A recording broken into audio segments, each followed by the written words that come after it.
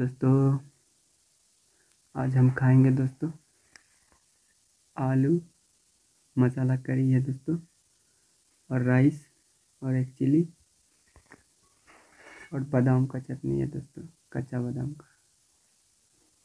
चलिए खाना स्टार्ट करते हैं।